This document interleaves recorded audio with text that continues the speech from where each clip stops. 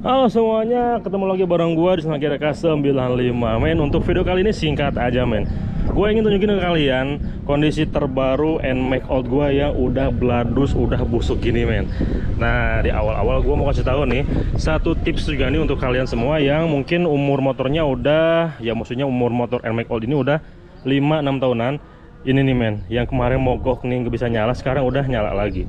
Kalau pertama itu waktu di kontak on itu nggak ada suara bunyi rotak atau full pumpnya itu nyala men. Bener-bener diem aja nggak ada suara apa-apa nggak nyedot bensin.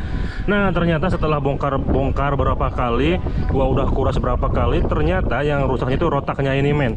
Padahal kalau beli juga nih ini harganya cuman 190 ribuan di uh, bengkel biasa nih. Mungkin kalau di bengkel online uh, bengkel online. Mungkin kalau di toko online ini bisa lebih murah lagi.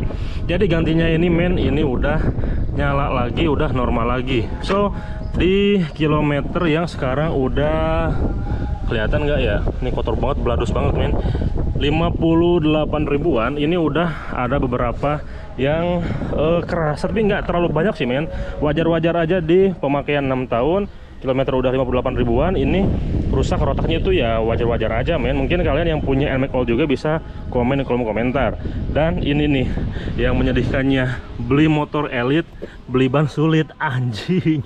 Ini udah bener-bener botak udah kayak ban mizel ban buat di road race tuh men. Aduh ampun. Jadi kayak gini terus kondisi uh, bodinya lecet-lecet parah ini banyak yang jatuh-jatuh bego men. Jadi bukan jatuh saat di jalan men amit-amit temennya tapi jatuh-jatuh bego kayak gini terus lecet-lecet.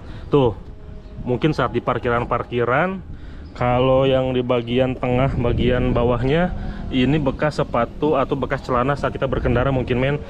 Tuh apalagi kalau kita yang sering bonceng anak kecil itu udah pasti banyak yang baret-baretnya.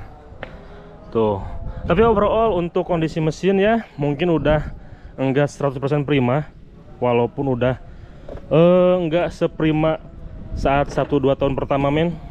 Udah agak menurun kondisinya.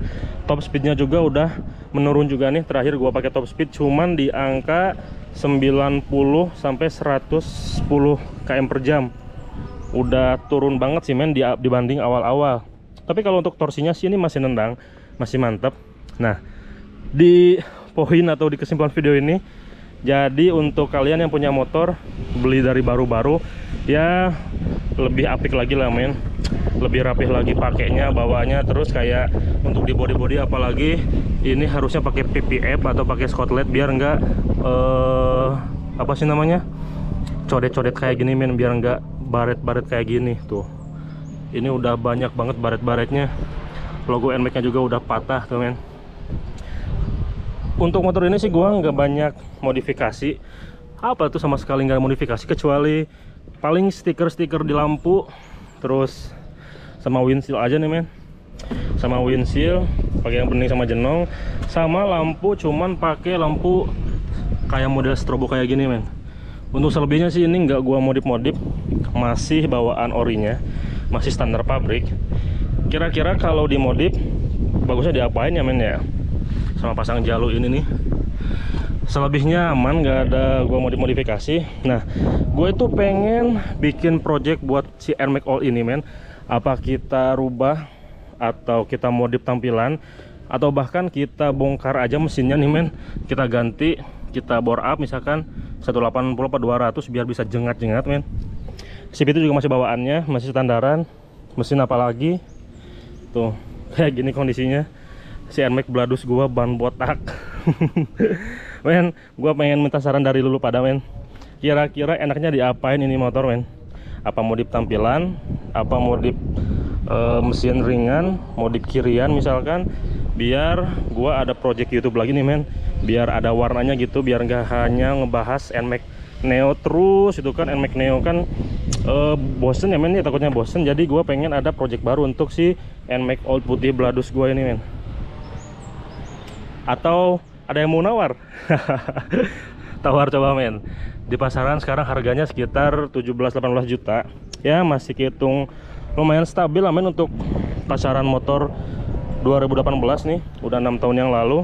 Harga segitu ya masih stabil men kalau menurut gua. Apa? Ada yang mau nawar? Oke tinggal tulis kolom komentar. Berapa juta men? 16 17 18 hajar. Soalnya gua tuh sejujurnya gua tuh pengen beli motor ZX 25R cuman dananya masih kurang banyak. Jadi ada kemungkinan untuk gua jual-jual motor salah satunya jual motor ini mungkin atau bahkan yang Ninja RRL itu men. Nah kayak gitu mungkin untuk video iseng kali ini. Mudah-mudahan kalian selalu dukung gua dengan like share dan subscribe. Terus komentar-komentar juga di kolom komentar yang banyak men agar channel gue ini semakin berkembang terus maju dan semakin menghibur kalian semua. Oke gue pamit dulu men karena sekarang lagi kerja juga. Akhir kata assalamualaikum warahmatullahi wabarakatuh